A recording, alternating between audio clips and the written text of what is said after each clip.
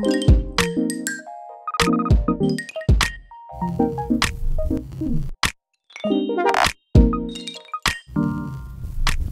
welcome back to the channel, and I hope you guys enjoyed that little B-roll sequence in the beginning.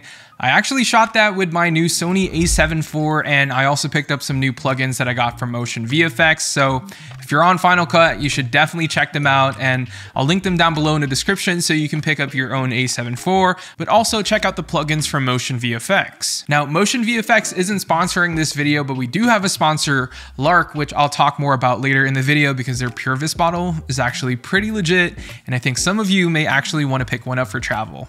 Now, if you're new here and you end up enjoying this video, please make sure to subscribe as we're trying to get to 50k subscribers by the end of the year. And with your help, I think we can get there way faster.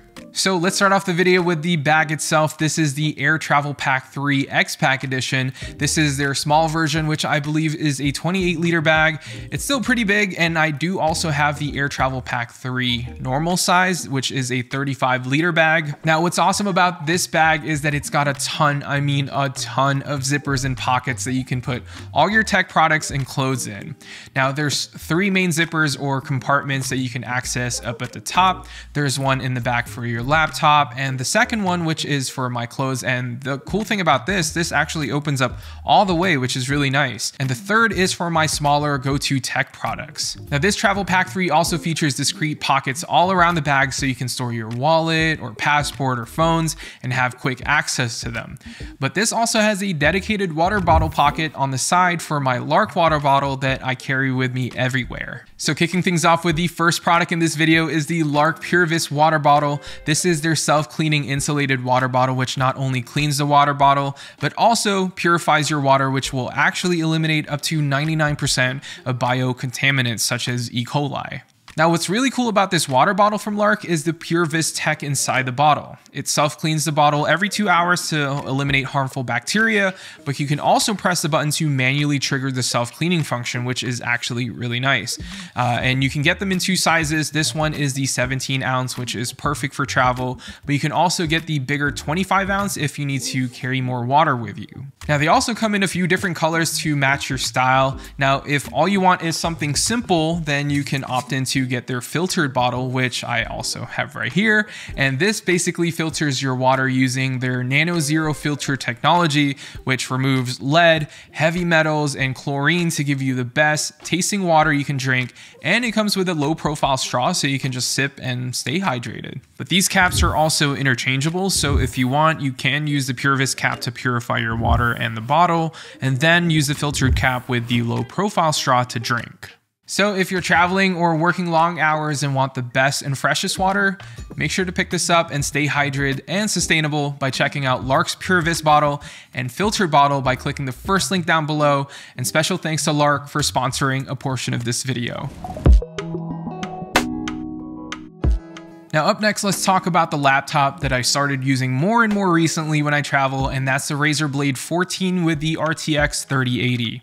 I actually made a review on this not too long ago, but I love this thing. It's relatively portable with a 14 inch 165 Hz display, and it can run almost all my AAA title games like Warzone, Forza, or even Halo Infinite in its highest settings. Now, if I do need to game and get serious, I gotta make sure I pack a good gaming mouse, and that's where this new Razer Viper Pro V2 comes into play. Now, this is Razer's answer to Logitech's G Pro Super Light mouse, and I gotta admit it, Razer did it. It's lighter than the Logitech by a few grams, and honestly, this is perfect for travel since it barely adds any weight to my bag. Now, if I'm playing something like FIFA or NBA 2K, then that's where my Xbox controller comes in, and this is the Cyberpunk 2077 edition controller, and I like to plug this into the computer so I don't have crazy latency when I'm gaming. And as for the audio, I usually just use the built-in speaker or I just plug in my Sony WH-1000 XM5s via the headphone jack, and since it's plugged in, you get little to no latency, so whenever I try to play first-person shooting, this comes in handy. Now, I try not to play online first person shooting when I travel because one, my internet is most likely crappy, and two, the screen is way too small for anything competitive. So if I'm gaming, it's usually just very casual. All right, now in the very front bag pocket is where most of the smaller and everyday tech carry is stored. So I have an iPad Pro here with the White Magic keyboard, And this is actually the 2018 11 inch iPad Pro, which is honestly such a good iPad for the price. I picked this up refurbished from Apple and saved me a ton of money compared to buying the M1 iPad Pro. Now, I also added some dbrand skins to the actual iPad and the Magic Keyboard to make it more unique, but also make sure I don't get scratches on the iPad and get the keyboard all dirty since it's the all white Magic Keyboard. Now, I went with the iPad Pro because I get ProMotion, 4 gigs of RAM, which is honestly more than enough for what I need it, uh, and the A12X processor, which in reality, in day to day usage, you won't really be able to tell the difference in performance with the M1 iPads just yet. But yeah, it still runs like a beast in 2022, and this is what I use if I need to write scripts, answer emails, or sign any contracts that come in.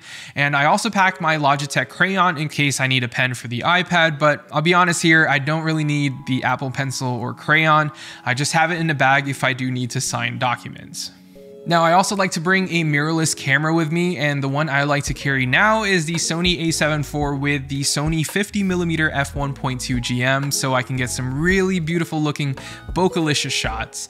And since the a7 IV can crop into an APS-C mode instead of using full frame, I can technically get an 85mm equivalent if I want a more close-up shot. Plus that 33 megapixel comes in handy when I'm cropping in on a photo, so, you know, I love this thing. Now I did mention earlier that I use the Sony WH-1000 XM5s with the Blade 14 and besides using this as my headphones for gaming, I also use it for when I'm on the plane and since this offers the best noise cancellation feature on any headphones currently, this is my choice when I travel. Now I also carry an AirPods Pro with me for everyday listening. It's in a Nomad leather case which looks really beautiful and surprisingly enough still works with MagSafe. Then I have the Aer travel kit in this compartment as well that carries the smaller tech products like cables and accessories for charging.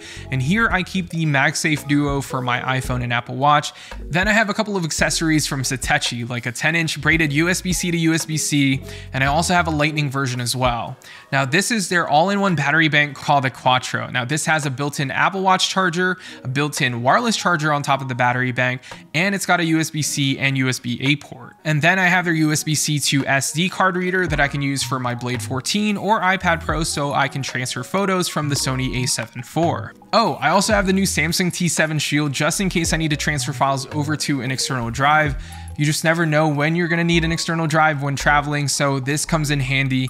Plus, this is their new rugged external SSD, which has this rubber exterior and IP65 water and dust resistant and drop resistant. It uses USB-C, so I can use it for my iPad or Razer Blade. And the transfer rate on these are about 750 to 850 megabytes a second read and write. So this thing is an absolute beast. It's small, portable, rugged, and it fits perfectly inside this kit bag. Now in the middle compartment is where I'll usually pack a few shirts and pants and I can even pack another pair of shoes or other miscellaneous things in here, uh, which makes this backpack really the ultimate travel bag.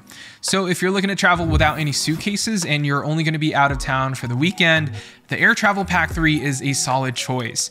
Again, this is the small version, so you can opt in to get the normal 35 liter size and pack way more things inside. But yeah, besides that, I keep an AirTags hooked up inside the backpack using this rugged Nomad AirTags case to make sure I know where my bag is at all times. And I also have a secondary phone, which is usually a Pixel or whatever Android phone I'm reviewing next in case something happens to my iPhone when I'm traveling. But the one that I've been leaning more towards lately is the S22 Ultra. A massive phone, but it's feature packed, which is not something I can say about the Pixel 6. But yeah, that's my go-to tech travel bag and what I usually pack with me. Nowadays, when I travel, I try not to think about making videos unless it's a work trip. That's why I don't have a bunch of camera gear and my MacBook here for editing. Uh, this is strictly for when I head out of town for a few days and I want to travel light. Anyways, that's been it for this video. Huge shout out again to LARQ for sponsoring a portion of this video. So make sure to show them some love and check out the first link in the description below to learn more about the LARQ PureVis water bottle. And yeah, I'll see you all in the next one.